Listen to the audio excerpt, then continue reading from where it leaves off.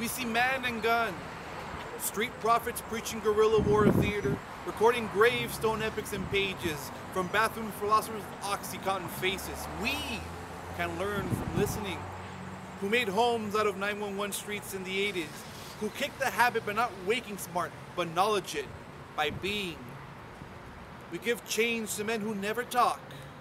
Always on streets, in city slots, they take vocal beats and make them into mute origins.